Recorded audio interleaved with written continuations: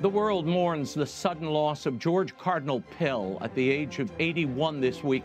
What will be his lasting legacy? Gerhard Cardinal Mueller is here to share his thoughts, and the National Catholic Register's Edward Pentin and Father Joseph Fessio of Ignatius Press reflect on what the loss of Cardinal Pell means to the Church. And they'll share some analysis of the explosive new book by Benedict XVI's longtime secretary, Archbishop Georg Gänswein. Nothing but the truth, the world over, begins right now.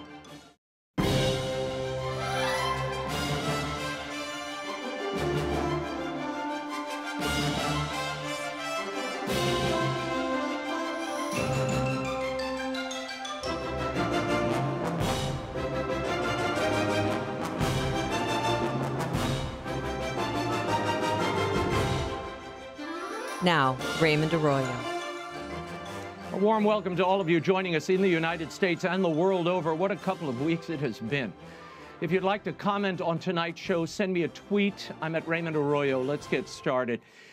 Just a week after the funeral mass of Pope Emeritus Benedict XVI, we mourn the loss of another towering figure in the church, Australian Cardinal George Pell passed away on January 10th at the age of 81. The former Sydney Archbishop, head of the Vatican Secretariat for the Economy, returned to his homeland to face charges of sexual abuse, charges he vehemently de- denied.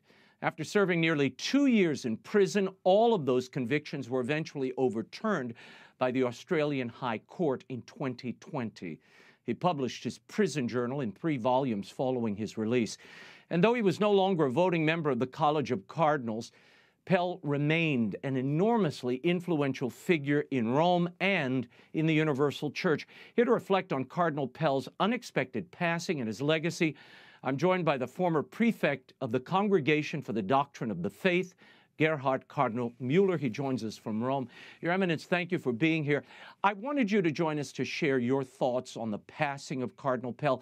It was so unexpected, coming as it did just days after the Pope Emeritus's funeral. What will Cardinal Pell's lasting legacy be, in your estimation? Like everybody, I was very shocked when I heard in, in the morning of, of his death, uh, the night uh, before because I saw him in the Holy Mass of the funeral, funeral of uh, Benedict XVI. And uh, he, we lived in the same house. We had the same apartments in the same house, and therefore we had a lot of contact.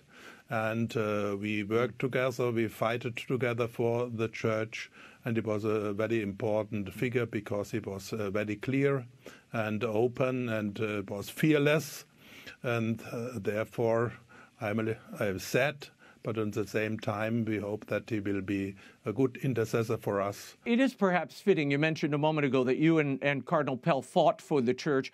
Um, in his final column published by the UK Spectator just after his death, uh, there is a scathing critique of the Synod on Synodality's working document, which we've discussed before, entitled Enlarge the Space of Your Tent. I want to read this to you and get your reaction, uh, Cardinal Mueller. Uh, Cardinal Pell writes, the Catholic Synod of Bishops is now busy constructing what they think of as God's dream of synodality. Unfortunately, this divine dream has developed into a toxic nightmare, despite the bishops' professed good intentions because of the differences of opinion on abortion, contraception, the ordination of women to the priesthood, and homosexual activity, some felt that no definitive positions on these issues can be established or proposed. This is also true of polygamy and divorce and remarriage. What is one to make of this potpourri, this outpouring of New Age goodwill? It is not a summary of Catholic faith or New Testament teaching. It is incomplete, hostile in significant ways to the apostolic tradition, and nowhere acknowledges the New Testament as the Word of God, normative for all teaching on faith and morals. The Old Testament is ignored, patriarchy rejected, and the Mosaic Law, including the Ten Commandments, is not acknowledged. Uh, Cardinal Mueller, uh, when you read that, uh, what did you make of those assessments? Yeah, we debated uh, some hours about this uh, text and uh, his thoughts, and I am absolutely on this uh, line. We have, the, I, we have the same meaning about this subject to be about this document preparation, so-called preparation document. Is not document of the magisterium, but is a preparation document, and the um, the lines and the thoughts are absolutely in the, in the, approach not Catholic. The Catholic faith begins by the revelation and the presence of the revelation in the Holy Scripture and the apostolic uh, tradition and the magisterium of the council of, the popes, and it's not a Gnostic um, uh, new um, uh, pattern. And, and, and, a paradigm as it is uh, seen in this uh, preparation document has nothing to do with the renewal of the church in Jesus Christ, but is only a shift to a not Catholic understanding of revelation and of the uh, church. Mm-hmm. Cardinal Mueller, we're, we're, learning that Cardinal Pell's funeral mass will be held on Saturday, uh, January 14th, celebrated by Cardinal Giovanni Battista Re. Uh, meanwhile, a secret memo has been circulating since last spring, Lent of last year, that openly criticizes the pontificate of Pope Francis.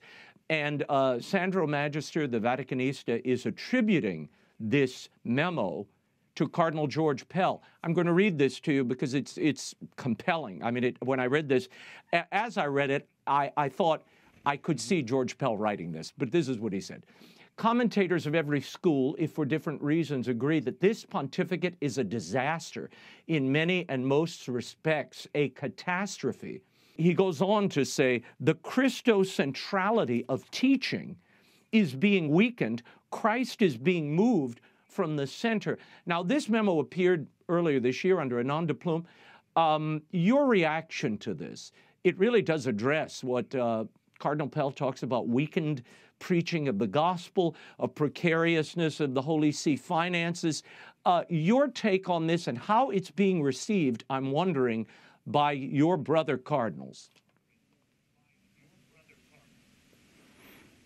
Yeah, I don't know exactly who was the author, but these are fluent ideas and and uh, and uh, thinkings of, of, of some people, and uh, we have to react to the content of these um, reproaches. And uh, we have uh, also to underline the cardinals, the bishops, and everybody uh, in uh, the church the Christocentric uh, basis of our Christian faith. The church is not an NGO.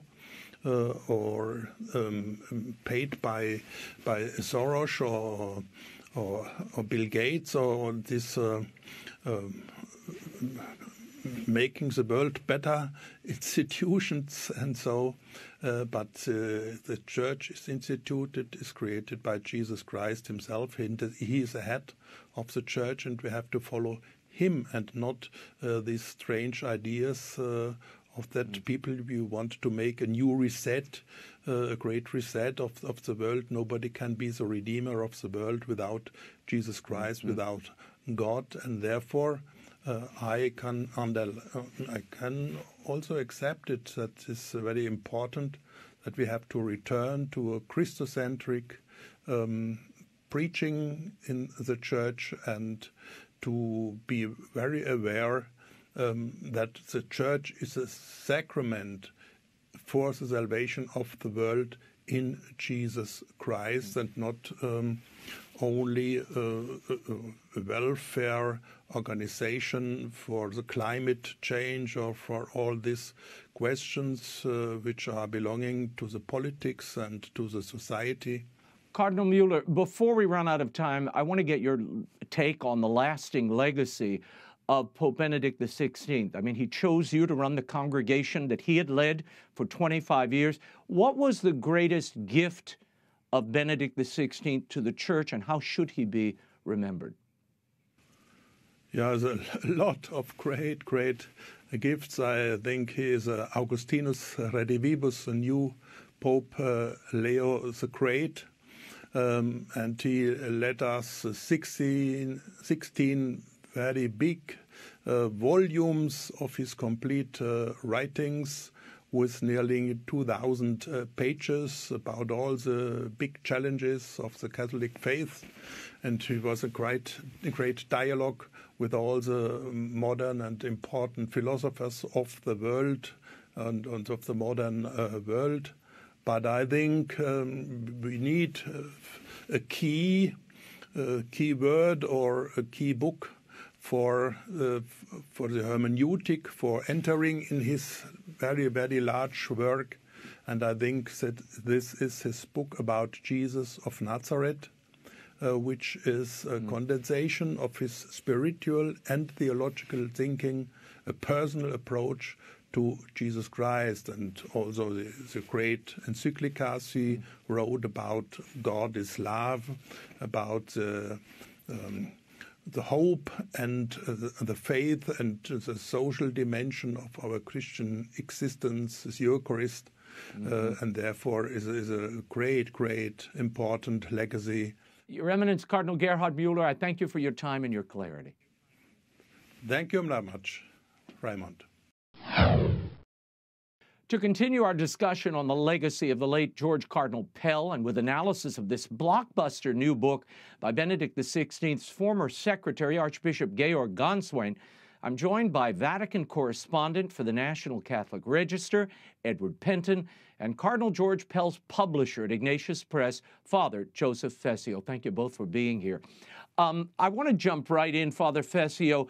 Uh, you worked closely with Cardinal Pell for so long. You published the prison journals and other titles. What does the passing of Cardinal Pell mean to you personally and to the Church as a whole? Well, it's a loss of a great friend personally and for the church as well. Yeah. When Benedict went to his reward, I did ha- I had no sorrow whatsoever. He'd completed his life. He was on the road to dying. Uh, he was 95 years old. He was ready for the reward. He was going to a place which is far superior to where we are now. And the solemn response for that day, December 31st, was let the heavens rejoice and earth be glad. With Cardinal Pell was different. Uh, he died on my birthday, hmm. which allowed me to say I'm older than he because he's 81, I'm now 82. But I, I believed my I believe he still had part of his mission to accomplish. But my ways are not God's ways.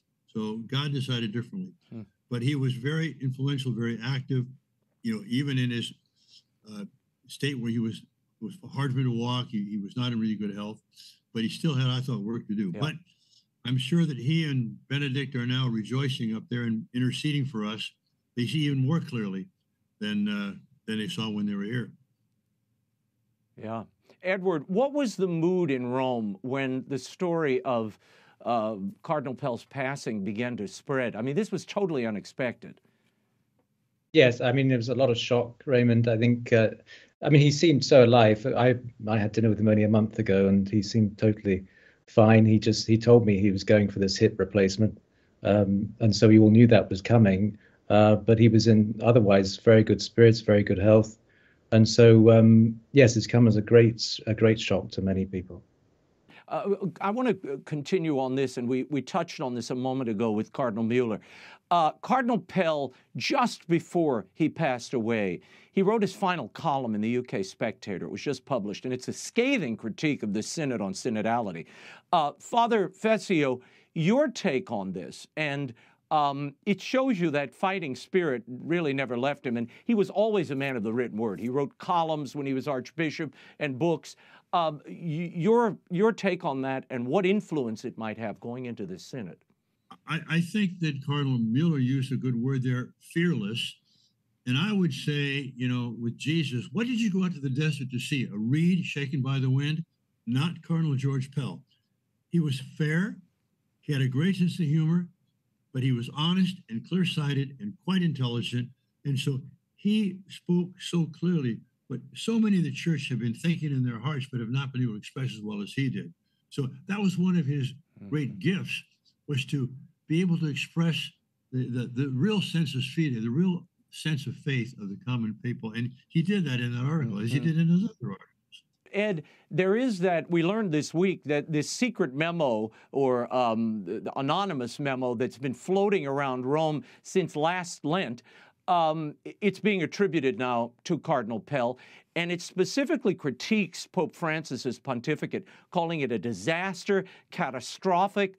Uh, how is this being received, and might that have any influence on the upcoming uh, funeral arrangements for Cardinal Pell?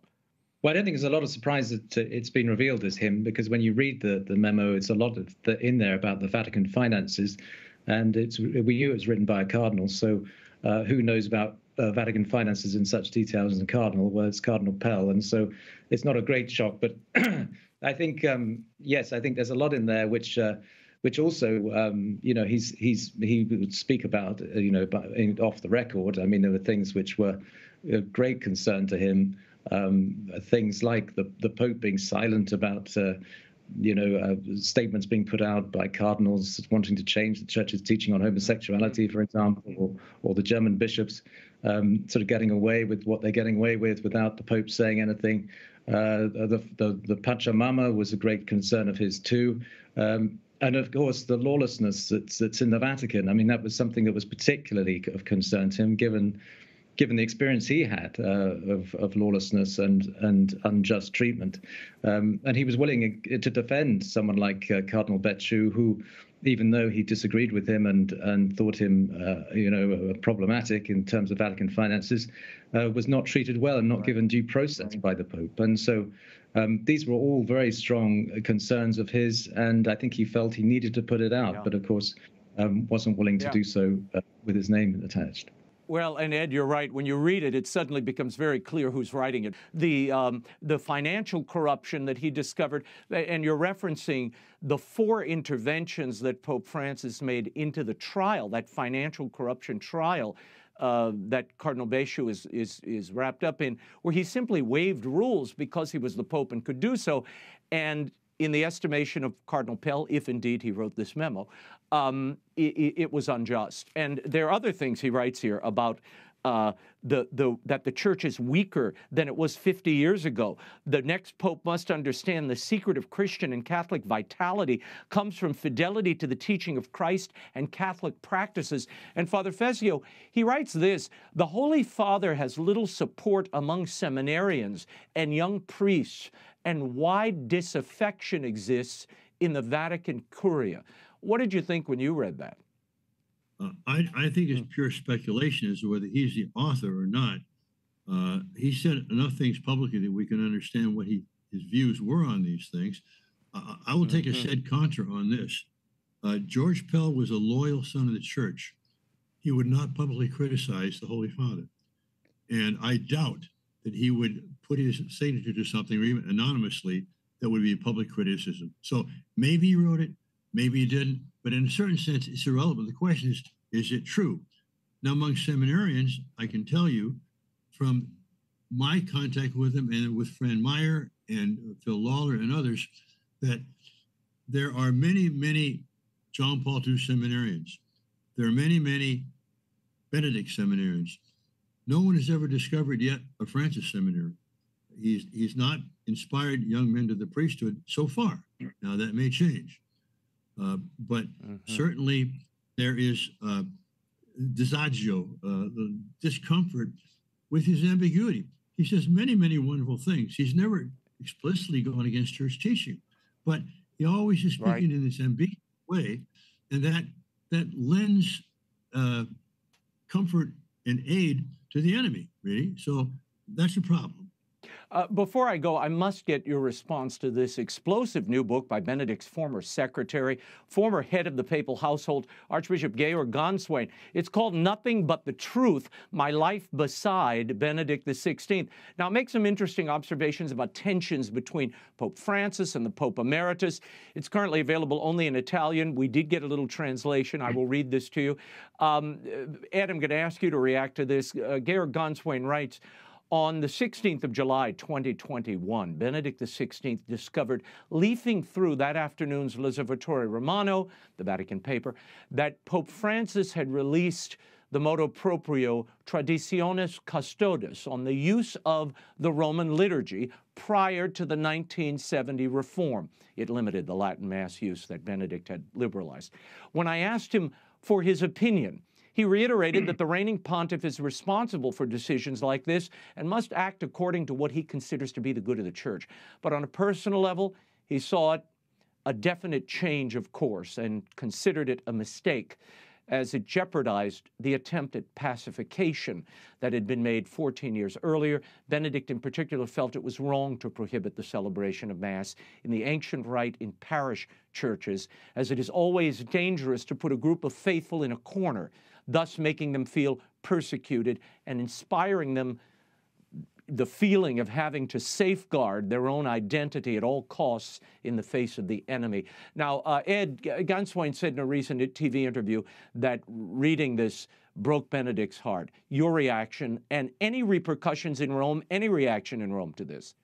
Yes, well, just to, to, clarify, I think the German translation was it, it hurt him in the heart. I mean, we don't actually say that, but it wasn't quite as strong as breaking his heart. But at, at any rate, it was something he was very um, disappointed with, with and uh, he did think it was a mistake.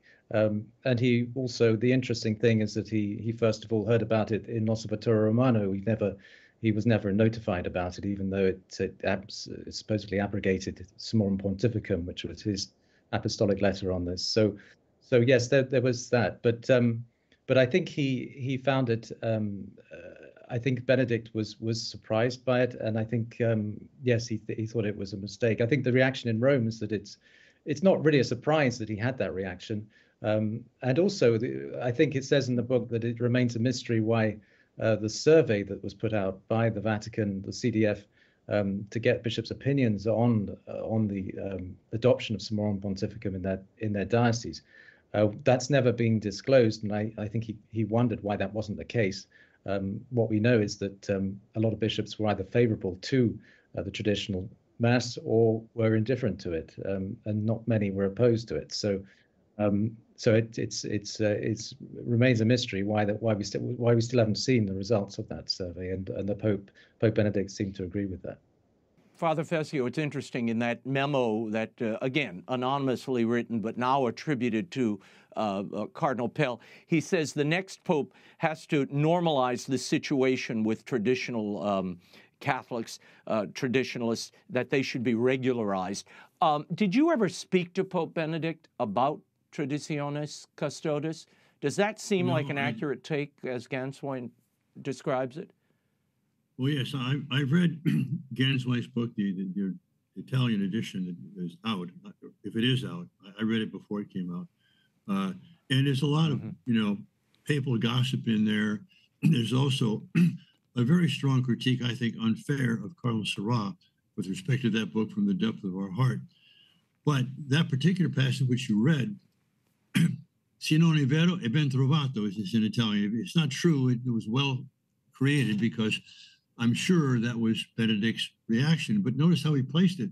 He's not going to criticize publicly, but personally, he thinks it's a mistake. He's not speaking as Pope now. He's speaking as Pope Emeritus. And so he's got a right to his opinions on things, but he never wanted to make things public mm-hmm. if it would in any way call into question the authority of the Pope. So Benedict was a, mm-hmm. a humble man, a man of restraint, and this is just another sign Mm-hmm. Let's move on to Amoris Laetitia and the, the dubia, the questions that those four cardinals posed to Pope Francis about clarification regarding communion for divorced Catholics who were remarried without an annulment. Now, according to Gänswein, Benedict was shocked that Francis declined to answer those cardinals. Gänswein writes, his silence regarding this matter became rigorous when the dubia letter which the four cardinals, Walter Brandmüller, Raymond Burke, Carlo Caffarra, and Joaquin, uh, Joachim uh, Meisner, had sent to Pope Francis in September of 2016 was made public, circulating it after they had received no response for a couple of months. None of them ever had a chance to speak to the Pope Emeritus about it, neither at that time nor afterward, when in the spring of 2017 the cardinals returned to the charge and asked Pope Francis for a clarification audience. Benedict was only humanly surprised at the absence of any hint of a reply from the pontiff, despite the fact that Francis normally showed himself willing to meet and talk to anyone. Ed, was Benedict's reaction to the Pope's silence surprising uh, to you or to anyone in the Vatican? I thought what was interesting about this was that um, Benedict never um, had a chance, or the cardinals, the cardinals of the Dubia never had a chance to speak to him about it. um, either you know soon after or, or later. Um, and I thought that was quite quite strange in a way that they were never given that opportunity. Mm-hmm. but yes, I think um, I think otherwise it was it was rather unsurprising that that I would say. Father Fessio, I want to get your take on the passage about Gänswein's own dismissal from the papal household. Now, this is in connection to something you brought up a moment ago, uh, a foreword that Benedict had written with Cardinal Sarah for his book. Um, quote, after those torrid days of controversy surrounding Cardinal Sarah's book, on Monday, the 20th, I asked Pope Francis if I could speak to him. He gave me an appointment for late morning at the end of the audiences. I gave him in detail the details about what had happened and asked his advice on how to act in the future, since it was not always easy for me to succeed in preventing problems like the one that had just occurred. He looked at me with a serious expression and said in surprise, From now on, stay at home, accompany Benedict, who needs you, and become a shield, essentially, to, to the Pope.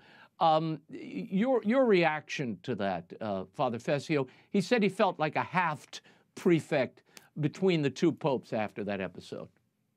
Yes, well, I mean, I've known Georg Gänswein for quite some time, and he's been somewhat friendly to us at the Ignatius Press. He's the one that suggested we do Paul Badde's book on Our Lady Guadalupe.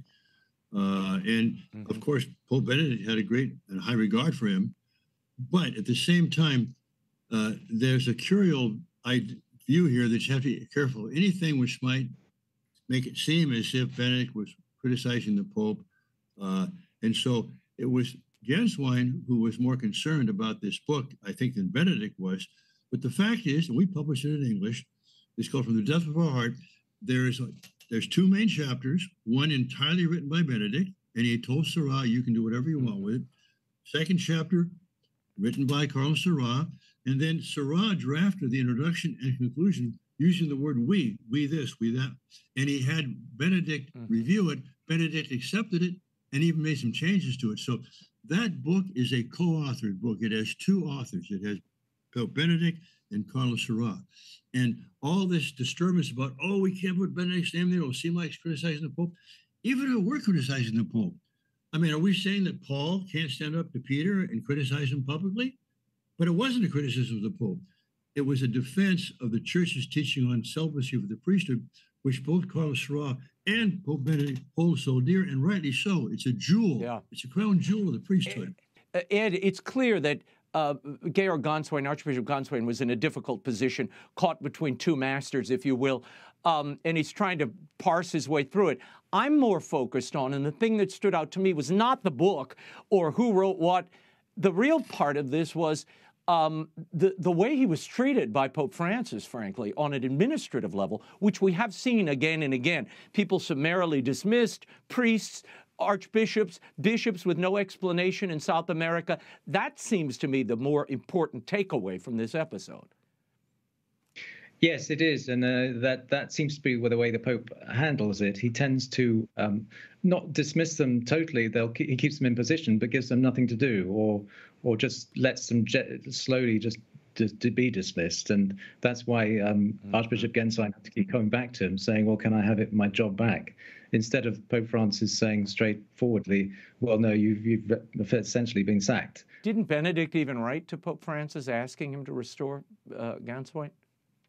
Yes, he did. He wrote to him, uh, I think, soon after in, in January 2020. Uh, wrote quite a long letter uh, actually begging him to clarify, begging for Francis to clarify the situation about uh, what happened, and so that um, you know they could go forward. And again, you know, it shows Benedict's willingness to always be unifying and try to find um, common ground and and bring peace to the situation. We shall leave it there, gentlemen. Thank you both for being here, for your reflections, your insight. Ed Pentin, Father Joseph Fessio, thank you so much regardless of who said what or contemporary controversies, I think it's important to focus on the man George Cardinal Pell was.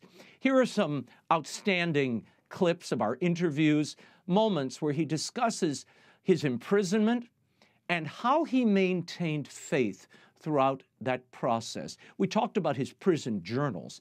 Listen to these moments. 2017, Cardinal George Pell left the Vatican Secretariat for the Economy to face outrageous charges of sexual molestation allegedly occurring in his Melbourne cathedral in 1996. After a mistrial in 2018, a second trial unanimously convicted him, and he was sentenced to six years in prison. Cardinal Pell was then incarcerated for 404 days until Australia's High Court unanimously acquitted and released him this past April. Joining us to discuss his new book, Prison Journal Volume 1 The Cardinal Makes His Appeal, chronicling his first five months behind bars and more, is His Eminence, George Cardinal Pell. Your Eminence, thank you for being here. Uh, Raymond, it's a, a, a, pleasure. I've got uh, very fond memories of EWTN. Well, thank you for joining us. Now, Your Eminence, you wrote every day in prison as a discipline. Was it always your intention that you would publish this journal? Um, not necessarily. Um, I didn't write uh, primarily for it to be uh, published. I was aware that I would uh, offer it for publication. Uh, because it went in three or four different directions, I wasn't uh, exactly sure whether all of it would be suitable or it would have to be edited or cut up into sections. Uh, so I was aware of the possibility, but uh, that wasn't the primary concern. Hmm. At one point, you write, quote, My fate has serious repercussions for the church, especially in Australia, but more widely because of my advocacy of crucifixion Christianity. There seems little doubt that my social conservatism and advocacy of the Judeo Christian ethic have sharpened popular hostility, especially among the militant secularists.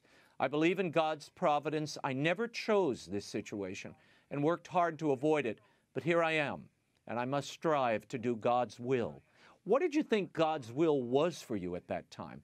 And did you ever think you might not be released?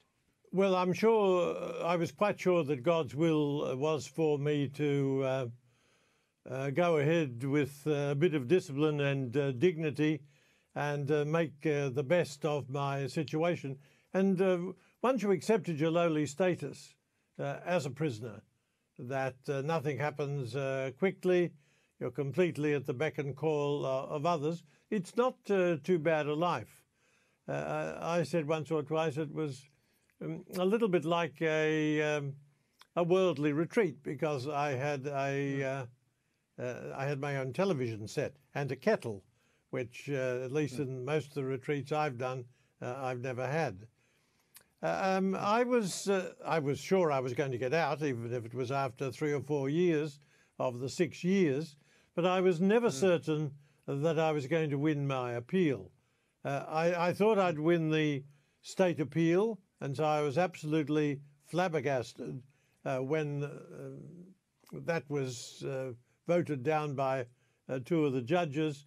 So I was aware that these things uh, weren't always decided on, uh, on logic or on the evidence. Your Eminence, when you first, when these charges first dropped, you could have declared diplomatic immunity and stayed at the Vatican. I mean, you were you you at that time had a Vatican passport. I assume you have one now. Why didn't you just stay in Rome That's and avoid correct. these charges? Oh, because I was innocent, and uh, uh, that would have been very bad for me, very bad for the church, as though I was frightened uh, uh to face up to my uh, accusers uh, and the accusations. I never for a moment the thought that I would lurk in the Vatican, um, uh, avoiding the charges. I went home to prove my innocence, and that's exactly what I did. Mind you, it was a it was a long drawn out uh, business, longer than I would have liked. I'll say. I'll say. Look, now, now, you write in the book that the pedophilia crisis remains the greatest blow the church has suffered in Australia. Now, you were responsible, Your Eminence, for setting up the Melbourne response in your home country, which was a system for victims to be able to report cases of abuse. Looking at the number of sex abuse cases globally and the cover ups and situations like McCarrick, what should the Vatican be doing now to stop this and end this crisis once and for all? Well, um, I can only speak uh, primarily about Australia. And mm-hmm. we broke the back of this problem in as much as we stopped the crimes in the middle of uh, the 90s. And this was acknowledged uh, by the Royal Commission. The Royal Commission that looked into the terrible stories of cover up and abuse uh, in Australia uh, drew on almost no cases uh, from this uh, century. So it probably differs from country to country, but the uh, the church, uh, certainly in Australia, I would think in the United States, has uh, the basic, uh, the correct uh, procedures in place, and uh, we have to implement them justly and um, compassionately.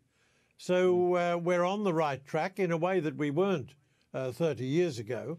We, we dealt with the problem the way the rest of the world did, at least in the English speaking world, and that is cover up these things. We weren't alone in doing that.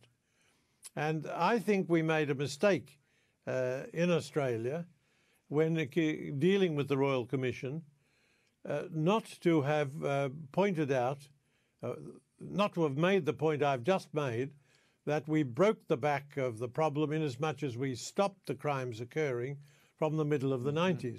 Uh, Keith Windschuttle, a former Australian Broadcasting Corp board member and author of a book about your trial, has warned that, quote, any one of us could now be accused by strangers of reprehensible behavior and then find the weight of the nation's structures of law, government, and public opinion piled on top of us. The whole case was based on a fundamental overturning of traditions of law. There wasn't a presumption of innocence, there was a presumption of guilt. Do you agree with that appraisal of your case, the way it proceeded? And do you feel, Cardinal Pell, that you were a scapegoat for the crimes of the church and the way it dealt with abuse in the past? Uh, I do think uh, book is a very fine book. I have uh, read most of it, if not uh, all of it. I think his uh, diagnosis is uh, correct. If uh, public opinion is strongly against uh, a certain group, you know, I think it was an example of identity politics, uh, certainly of a spokesperson uh, for that group. Um, it can make it very, very difficult. I mean, I think the prosecutors in my case uh, refused uh, on three occasions to take the, the case forward. And that, uh, I believe, I might be wrong, was eventually done by the, uh, by the police. So, was I a scapegoat? Um, to some extent. I believe that in the courts, some of my friends have uh, reported that uh, bystanders, some people have written to me about conversations they've had, and uh, sometimes the conversation went like this: Yes, he might be innocent. He might, he might in fact have not uh, done these things, but the church deserves to be punished uh, for the way mm. they've dealt so badly with this with this crisis. And in many cases, we did deal badly until um, the early 90s or the mid 90s. Yeah. No, it, it, it's. I remember when we had individuals who were partial to your case and, and believed in your innocence, and they would come and report on various steps in the trial and throughout the process. And we got ferociously attacked by uh, some of your countrymen in the media for how dare you have this man on? How dare you suggest that he's innocent? Cardinal Pell is a guilty man. I mean, the, the, the media pressure here was intense. You had to feel some of that even in prison. Uh, yes, to some extent I, I did, but to, to some extent uh, I was used to it over the years. And um, uh, I'm also very clear, clearer than ever, uh, that we mustn't buckle to, to, that sort of pressure we've got to stand up to it. Uh, we have to make our case uh, cogently, uh, courteously, uh, with reason. And uh, as I uh, said, it is a question of identity politics. And a lot of those people don't appeal to reason. they make no. their decision and then condemn a person with a different point of view and all uh, the other people who hold that point of view too. It uh, mm-hmm. It represents a decline in public life, the, the decline uh, in rational uh, discussion. In your new book, Prison Journal, Volume 2, you write about how someone had a dream and they contacted you with it, and they predicted that you would be free. You write in your diary, as someone who's innately skeptical but believes strongly in the reality of the supernatural, I would have been surprised if the situation panned out as predicted. I know, too, from my reading, of the slightest number of inexplicable events and coincidences, whether they be paranormal or supernatural, but that even in miraculous apparitions, uh, e.g., Fatima, the specifics, the detailed predictions can be wrong. How did you feel the moment you learned that you had lost that appeal in, in August of 2019? What, was the first thing that went through your mind? How did I feel? Um, well, enormously uh, uh, disappointed. Uh, I thought it was uh, logically uh, inexplicable. Um, there, I wasn't inclined to doubt it or think it was uh, surreal, but it was intensely uh, disappointing, and uh, it was one of a series of reverses. So I, I must confess, at that stage, I I didn't uh, estimate the, the judicial processes very highly at all. Hmm. How did prayer sustain you through this period, Your Eminence? It had to be very difficult, uh, considering, I mean, you knew you were innocent, and yet this steamroller kept kept moving forward? Well, um, I, I re- received an enormous amount of prayer support. Uh, I had so many people praying for me that I wondered whether it was overkill. So I, I remember praying to the good God to say, well, look, there might be too many people praying for me, but you can redistri- redistribute uh, uh, these things. Um, I was uh, I followed a common sense daily uh, rule of life. Uh, my prayers, uh, exercise, uh, sleep, uh, watch the television, read, uh, wrote. So the grace builds on nature, and um, with a bit of common sense living, that better helps you maintain your equilibrium. And I think undoubtedly. Mm all the prayers and the knowledge that I had so much support, that was a stabilizing factor too. Hmm. One of the peculiarities of your prosecution was the total media blackout imposed by the court. It forbade coverage of your case. Now, they claim they did so to prevent news of one trial affecting the jury pool or the outcome of the other trial. You were being tried in two localities. What does this say about the Australian judicial system? Well, I think it was um, a reasonable, uh, um, a, a, reasonable decision. It didn't work to my advantage because no. uh, once the facts of uh, the accusations uh, became public, uh, public skepticism grew um, enormously. But I had um, uh, the threat of another trial, and they didn't want to prejudice my chances there. Now, those those cases were, a good number of them were thrown out by the magistrate. The others were thrown out uh, by, the, uh, by the judge as not worthy of uh, uh going forward. But the, the basic decision is explicable in terms of normal judicial practice but it didn't work out in my mm-hmm. favor. While you were in prison, the German bishops launched their synodal way. Uh, what did you think when you heard that they were preparing to discuss for two years four main issues the way power is exercised in the church, sexual morality, the priesthood, and the role of women? Well, I, I think the German church is uh, at a crossroads. They have to mm. choose uh, to be servants and defenders and teachers of the apostolic tradition. So they stand under the Word of God, under revelation, under the teaching of Jesus and the apostles, or they choose another path and say that we are the masters of that tradition and we can change uh, the teaching. Um, now, I don't know whether abortion and euthanasia are on the books, uh, I hope not, but uh, certainly they want to change the teaching on, uh, some do, on sexual morality by blessing homosexual unions.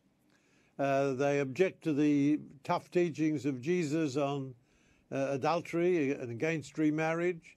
Uh, they seem to have a different list of uh, qualities that are necessary for the fruitful reception of the sacraments, different from that of St. Paul.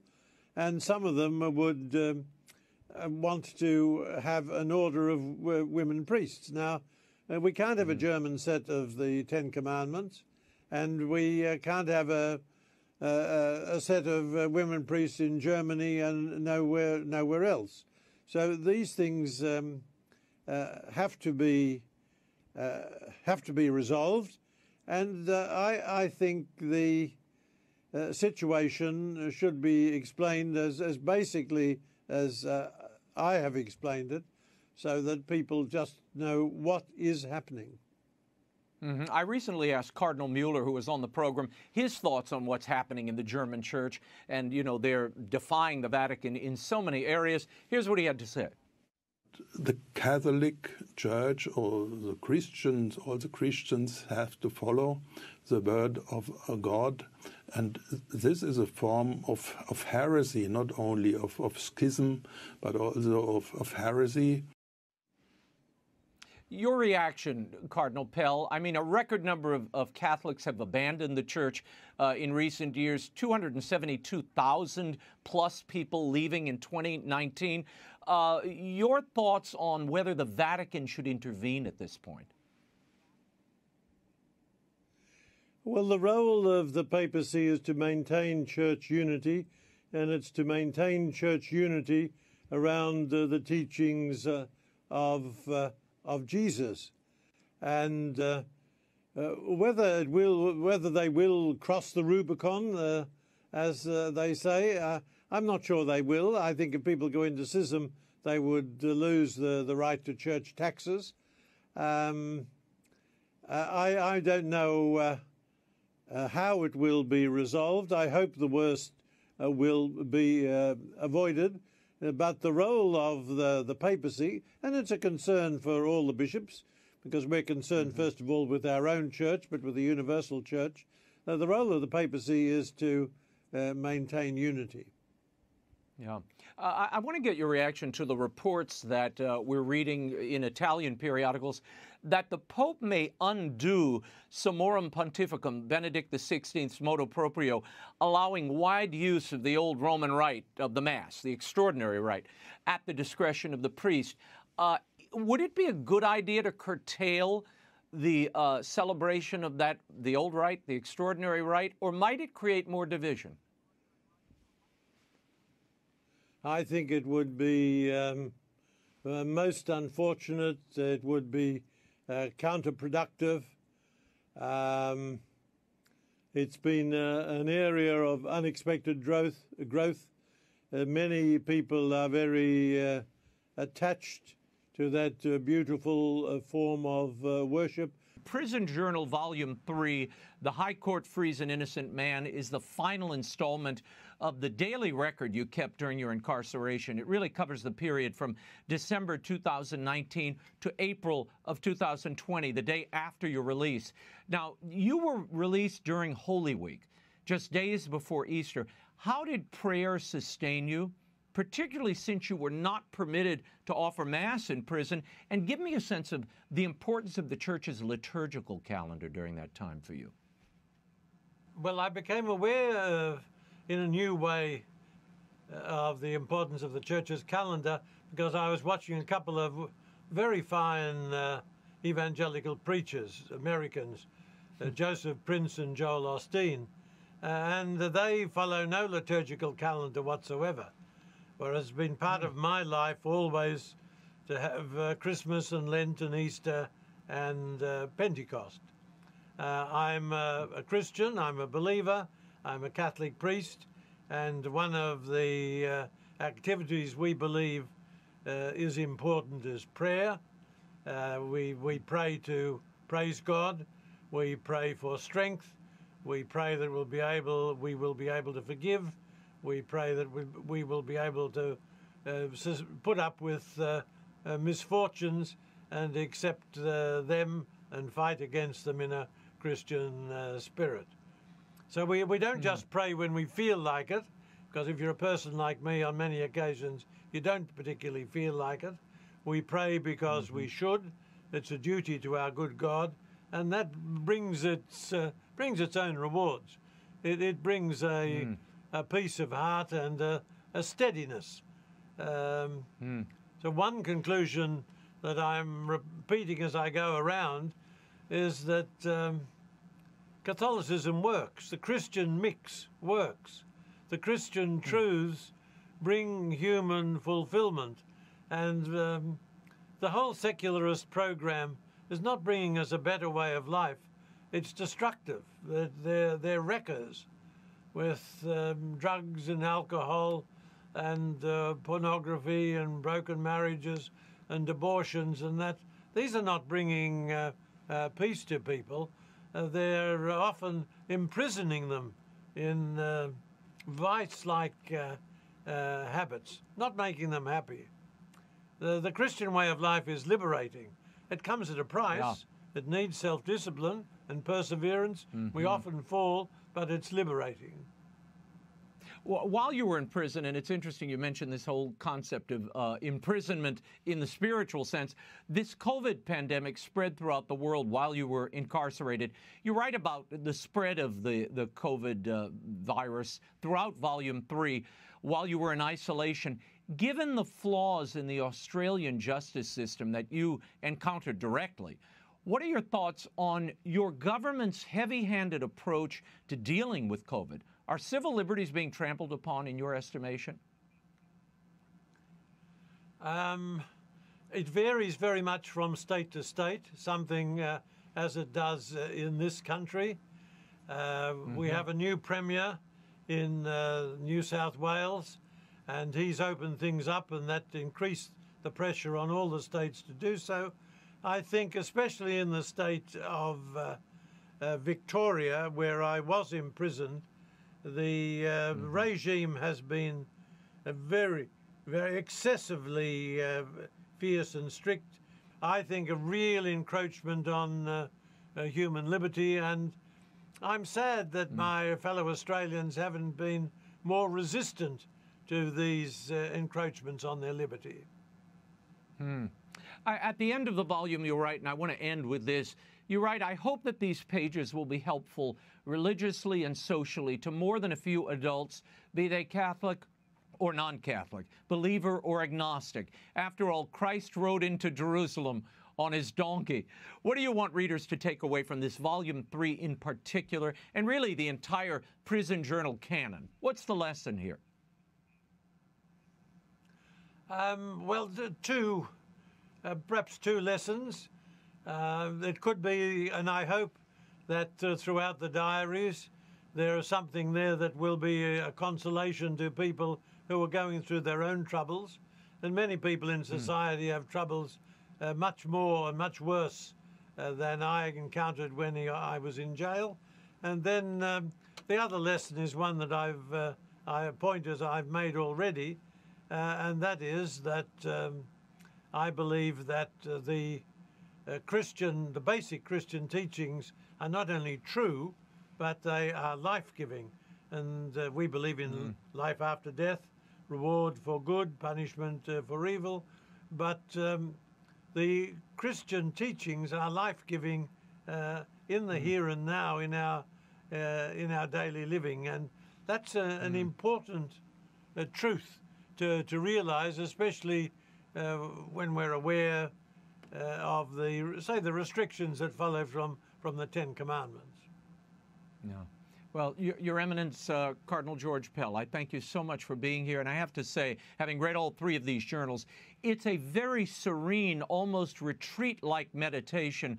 Uh, at a time when you are unjustly imprisoned, you had to be infuriated on a certain level, but very little of that bitterness uh, bleeds through in the book. I have to say, which, I, but I, you know, I was infuriated for you as I read as I read it. Um, but it, it, it has a, a beautiful serenity, and I really think speaks to exactly what you're saying. Catholicism works, and uh, th- this is what not only delivered you, but uh, I think helped you hold it together while you were there unjustly imprisoned for crimes you didn't commit. That's true, uh, Raymond, and thank you. It's always a pleasure to talk with you. May George Cardinal Pell rest in peace. It is so hard losing not only towering figures, but friends. I felt that way about dear Benedict XVI and certainly Cardinal George. Each had a confident, intelligent faith and a buoyant spirit that is so needed among the dreary, sterile, passionless, confusing voices I see in so many parts of the church and the world today. May their example and words endure and inspire us, and may they move others to follow them in this exciting journey of faith. That, I think, could be the best tribute to both of these giants. That is all the time we have for now. Be sure to catch us next week. Until then, we'll be scouting the world over for all that is seen and unseen. May George Cardinal Pell rest in peace. On behalf of the staff and crew of EWTN News, thank you for watching. I'm Raymond Arroyo. Bye now.